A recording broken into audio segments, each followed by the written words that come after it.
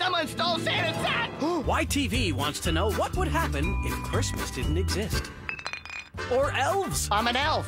What? A small, elusive creature with pointed ears and magical powers and a capricious nature.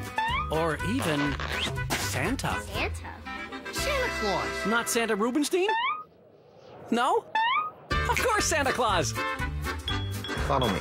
Merry Sixmas presents Christmas is Here Again next Sunday at 6 on YTV.